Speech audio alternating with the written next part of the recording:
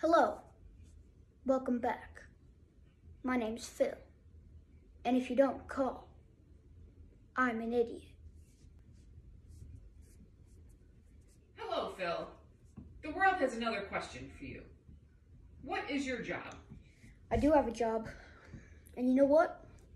I actually have to go there right now. So you're all probably wondering, this is my job. I my job is to teach little kids on how to fly. It's super informal and a bunch of kids need to learn from it. Here's one of my students. Yeah, great. Definitely so cool. As you can see, he definitely likes it. Yeah, I hate it. All right, class, for our first lesson today.